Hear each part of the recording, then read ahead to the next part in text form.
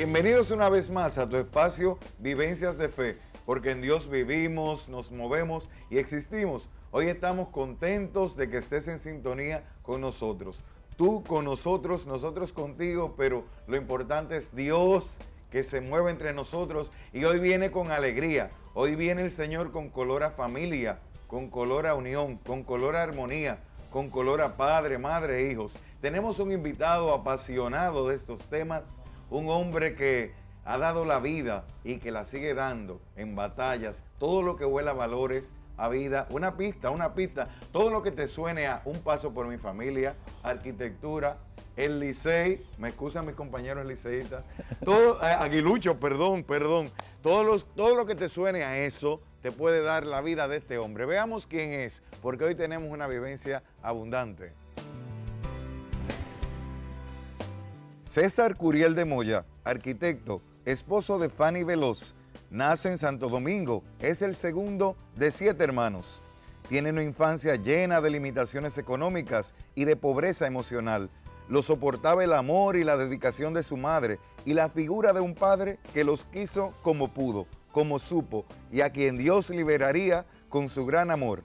A este buen hombre, quien se ha hecho evangelizador, defensor de las familias, promotor incansable de los valores morales centrados en el cristianismo, Dios lo sacó de las tinieblas a su luz admirable, de la vida de dolor emocional a la alegría que brota de la fe en Jesucristo, quien salvó su matrimonio, su vida y es centro de su familia. Si escuchas hablar de cursillos de cristiandad, la caminata Un Paso por mi familia, el movimiento Matrimonio Feliz o de la lucha por la defensa de nuestra Constitución al servicio de la vida, seguro que te encontrarás con el nombre de César Curiel, quien hoy nos cuenta sus vivencias de fe.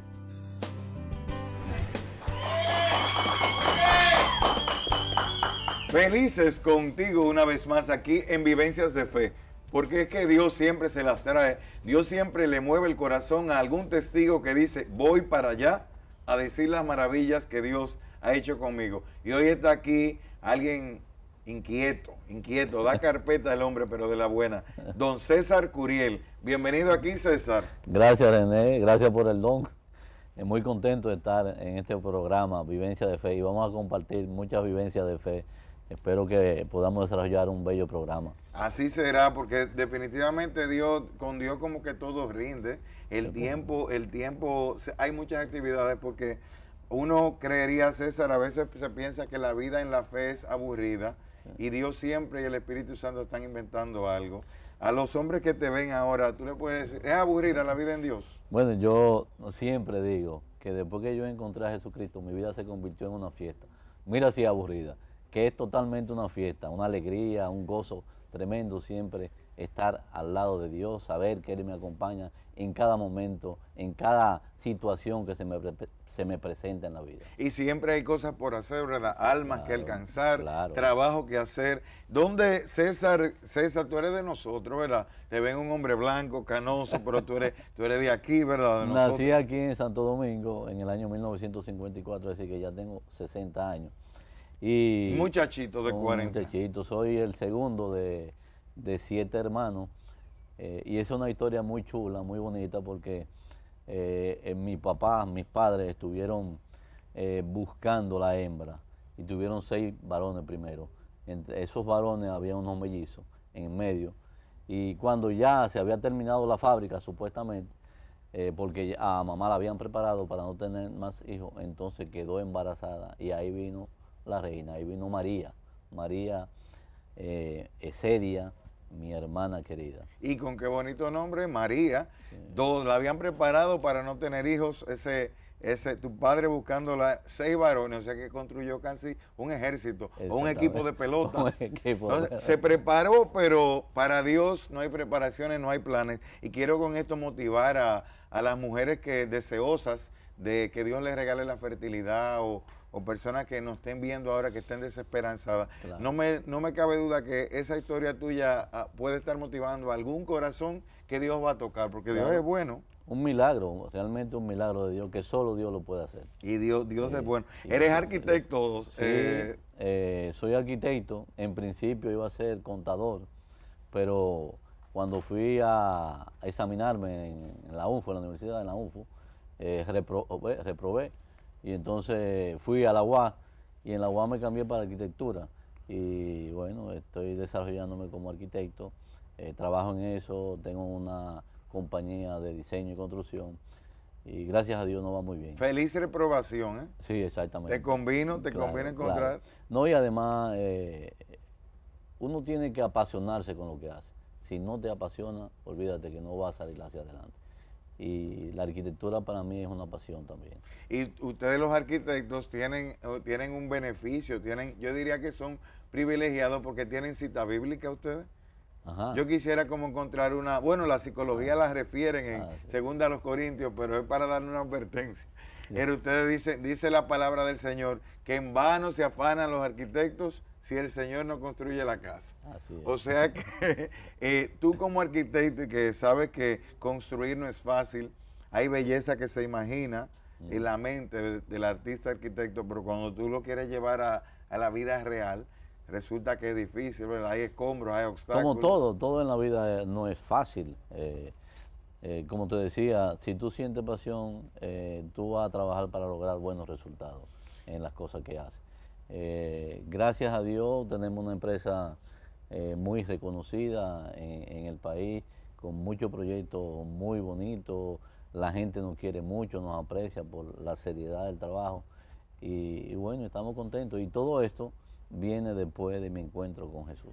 Llego, estoy, me, se me pone el corazón alegre, me brinca y gozo porque tú como arquitecto, tú, te presentas como arquitecto, pero no te avergüenza, César, de decir que tú amas a Jesucristo, porque parece que hoy en día como que hablar de Jesucristo, hablar de la fe, hablar de iglesia, como que, a veces da vergüenza, como que no de estatus. Yo veo que, que en los medios se habla hasta de ser espiritual, o que la energía, o que el universo te ayude. Todo eso tiene prestigio, pero hablar de Jesucristo da vergüenza. ¿Tú no te avergüenzas de, de, Jesús que, en quien crees? Para nada, para nada. Es y, y sobre todo eso que tú dices, los hombres, muchos, muchos, generalmente los hombres, somos que pensamos que Jesús estorba en la vida del hombre.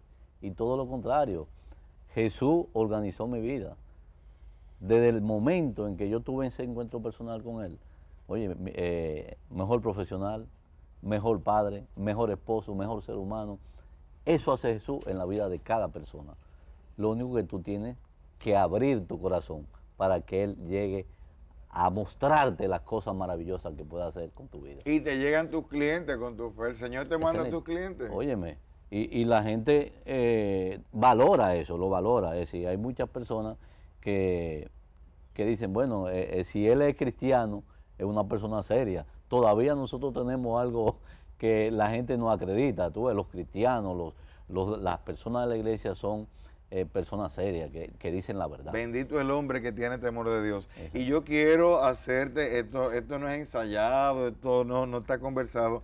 Yo sé que casi hoy me encuentro hasta extraño entrevistándote eh, a ti solo, porque tú eres un hombre que siempre anda de dos en dos como dice la palabra, vayan de dos en dos, pero anda con una bella mujer, con doña Fanny eh, Veloz, que le mando mis saludos, que, esa mujer, Dios le tocó el corazón para que te, eligiera a ti. Yo quisiera que me le deje unas palabritas, hombres casados que tienen a la mujer deseosa que le diga que la quieres. Hombre, yo voy a poner a este hombre a que públicamente en la televisión nacional eh, y, donde quiera que nos vean, le mande unas palabras a esa esposa. ¿Quién es Fanny para ti? Fanny, eh, bueno, mucha gente eh, dice, eh, tú sabes, le a la esposa, a, su compañera, tú sabes que yo te quiero. cuando la esposa le dice, yo necesito que tú me quieras. Pero no se trata de, que ella te lo pida, que, tú, que le diga que tú la quieras. No, de lo que se trata es que tú se lo estés diciendo constantemente. Fanny, yo te quiero, te amo, te necesito, necesito que esté a mi lado siempre contigo no voy a ninguna parte. Si tú eres mi compañera para toda la vida, contigo me casé, en las buenas y en las malas, voy a estar contigo. Y, Fanny ha sido, eh, vamos a decir, eh, parte de, lo que ha sido mi impulso en la fe, porque ella fue que prácticamente me llevó a esto, me, me puso un ultimátum, me dijo, yo no sigo contigo, Es decir, tú tienes que hacer cursillo de cristiandad. Porque yo andaba en la calle eh, eh, creyéndome que te estaba puso, soltero. Te puso a capítulo. Ajá. Y me gusta que tú hables de, de, de Fanny, de tu compañera, que tú eres mejor, mejor esposo, mejor hombre. Porque hoy en día, César, se habla mucho de que la esposa es la grúa de manera despectiva. Se dice que es una cárcel, que eso del matrimonio es, para gente que, se, que pierden la libertad. Pero no siempre fue así, que tú estabas orgulloso de ella y ella de ti. Y eso me lo vas a decir. Luego que regresemos de esta pausa, vamos a ver cómo Fanny logra y pone a este hombre a capítulo para que haga su cursillo de cristiandad. porque papá eh, fue un enfermo alcohólico y da- daba unas parrandas tremendas, se iba y, regresaba y gastaba todo el dinero y mamá tenía que pasarse altas, hasta altas horas de las noches eh, haciendo sanduchitos para venderlo y poder levantarnos a nosotros.